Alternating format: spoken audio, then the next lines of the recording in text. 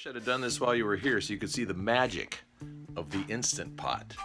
It's, uh, what is this, Tuesday morning, and uh, I'm going to make corned beef hash. It's about 10 o'clock, but we don't usually eat till about 11.30 or 12 or something like that. But I'm going to make corned beef hash, and I want to show you this. I've got the Instant Pot out. It's all plugged in. That's the Instant Pot. I have the uh, six-quart one. I've got a corned beef brisket right here, just a regular. I've already taken it out of the package, but you want to get a regular corned beef brisket. Uh, it doesn't matter what cut, it's really, really good. You're gonna make corned beef hash. And uh, got the brisket in the Instant Pot, put the trivet in there. Got the brisket in the Instant Pot. I already did a little minced garlic. And there's a seasoning packet that always comes with the corned beef hash. Looks like this, okay. So gonna sprinkling the uh, seasoning packet over the top of this, get it all in there, really good. And then you're gonna wanna add your liquid. I added about uh, oh about four cups of beef broth in there. Got that, but then the very last ingredient. Uh oh, what's that noise? Very last ingredient. You want to add pour little beer in there. Doesn't matter what kind of beer. Beer in there. You want about four cups of liquid in there with the uh, with the uh, the um, brisket. Okay, and then we're going to take the lid to the instant pot. Put that baby on there and turn it until it goes, makes its little sound. Let's hear that again.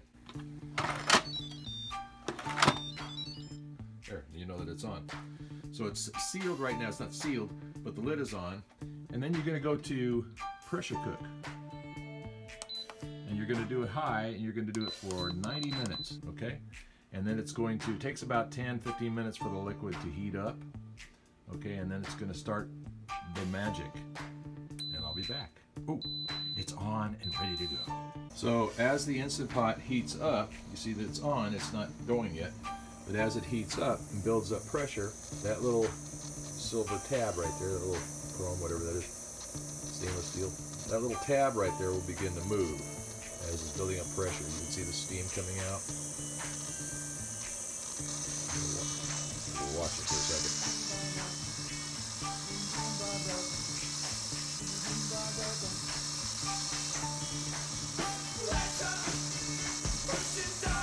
That little tab pops up because of the pressure. There it goes. As soon as it pops up like that and the steam stops coming out, that means the pressure is building and it's sealed. The little lid is sealed. You want to make sure you never try and take that lid off. You never want to try and take the lid off when that, that pressure button is up because that's where all the magic is happening and that's a lot of pressure. And you see that it still says on, but any second now it's going to go to the time. Okay, so it's clicked over to the time. That means the pressure is going, the lid is sealed, and the magic is happening inside. We'll be back here in 90 minutes. Okay, so this baby's been cooking about 90 minutes. We only got about a minute left, actually 30 seconds because I just started. But uh, we're going to show you what to do after this. Any second now, this is going to click over to uh, done. It's going to beep. Let me know it's done. There we go.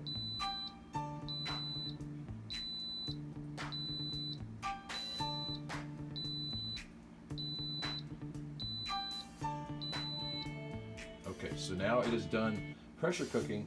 There's a couple different kinds of release, steam release on this, and of course you don't want to try to open that lid while it's, uh, you know, while it's under pressure. Under pressure. Okay, so um, what we're going to do, we're going to let this naturally release. Now there's a function here where you can instantly release it, release the steam, and it goes everywhere. I have, of course, my uh, my little dragon that goes on there to uh, divert the steam elsewhere.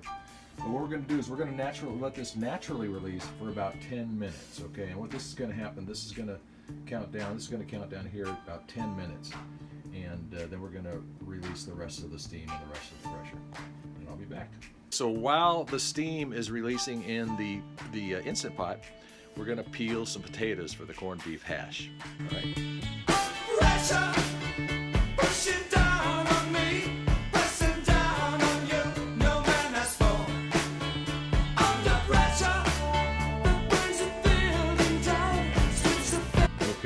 Potatoes are peeled. It's been on a natural release for 10 minutes now. And what we're going to do is we're going to take our little diverter here because the reason I use this is because that steam comes out of there and it goes straight up and I don't want it going into the cabinet or like that. So what I do is I divert it by putting the little dragon on here.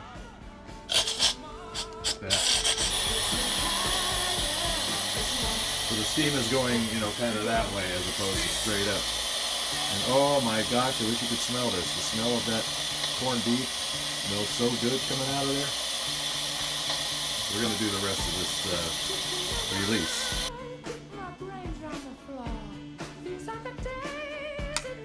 Okay, there we go. Now it's safe to open the lid. So what we're going to do is I'm going to remove Draggy McSteam Butt here. Stick him off to the side. And we are going to, let me zoom out on this. We're going to open the lid.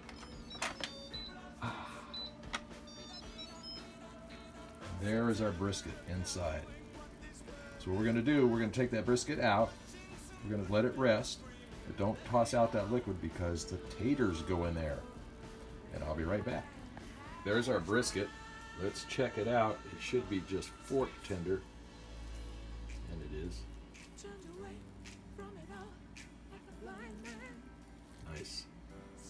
That's going to chop up really good for the for the corned beef hash. Let's try a little down here. So slashed and torn. Can't help myself. Love corned beef. Gotta have a little tasty taste. Mmm. Good ain't be good. It's gonna get even better. Got the potatoes cut up. You don't want to make little pieces. Just kind of quarter them, and then put it in to the liquid. Now, if you're making corned beef and cabbage with carrots and all that for St. Patty's Day, this is also a good time to put in your carrots and your cabbage. But we're just doing corned beef, so it's just the potatoes in there. So we don't want to close the lid. Listen for that sound. Okay, and we're going to pressure cook this on high for just five minutes. So let's turn this baby down. So that's just potatoes and broth in there. That broth is some nice tasting stuff too. You can save that later and cook some other goodies in it. So we're gonna get this down to five minutes and we'll be back. While the potatoes are cooking in the Instant Pot, I chopped up the uh, corned beef. And you can you can chop it up. I like to chop it up so you have some like chunky pieces in there. You can also put it in a food processor and do it that way too. Then you have much you know thinner, finer, chopped up mass of corned beef. But I like to just chop it up. You're gonna find little bits of fat in there. Of course, it is corned beef, so you find little bits of fat in there. You can take those out if you want, but fat is flavor. So what I like to do is I like to leave those in there because when I fry this up with the potatoes, it's to render down and it is so good. Okay, Instant Pot is telling me that the taters are done. So we're to do a quick release on this. I'm to go back to Dragon McSteambutt and we're going to do a quick release. It's got me under pressure. It's got me under pressure.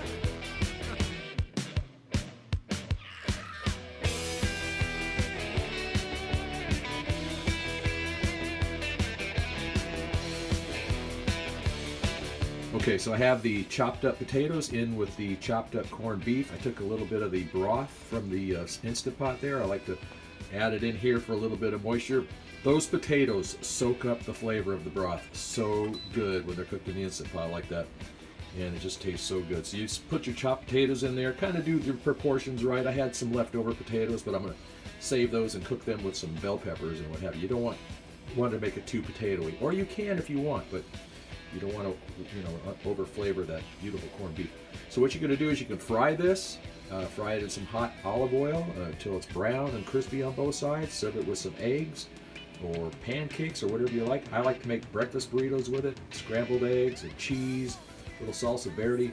Mmm, it's good, ain't be good. Well, there you go, corned beef hash in the Instant Pot. It's real simple, real quick, and real, real good.